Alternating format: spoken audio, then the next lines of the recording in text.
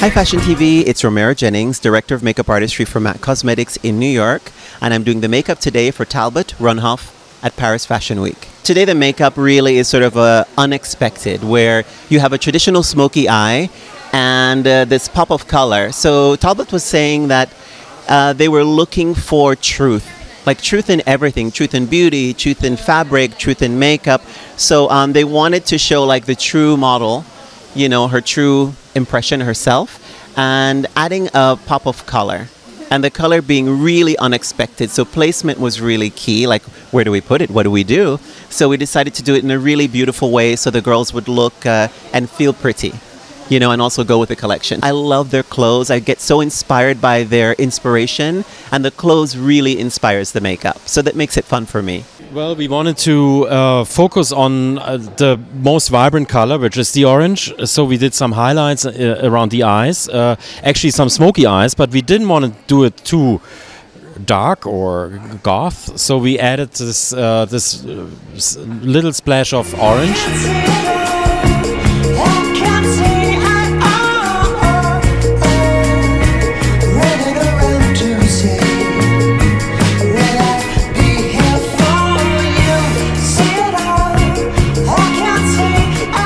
That totally is a little bit of an, an 80s. We actually took the eyeshadow and wrapped it into the temple. So if she turns to the side, you see that it's not just a smoky eye, but it's smoky and wrapped in here. And then with the highlight and contour, it makes it almost a vintage feeling but modern at the same time. So today the main the main part of the look is a new palette from MAC and it's called Basic Bitch. and what it is is these just beautiful sort of uh, smoky colors with a highlight. We use the highlight on top of the cheek as well as this gray underneath the eye, a little bit of paint pot on the lid, mascara top and bottom, and of course lip palette for uh, 2017. We're using the nude lip on the lighter girls and this brown on the darker. And finally, of course, what makes the orange so bright, right? So it's acrylic paint from MAC, and that's just a little bit of a, a mark on the outer corner, inner, and it's just really pretty. She looks adorable. She looks like a fresh baby angel.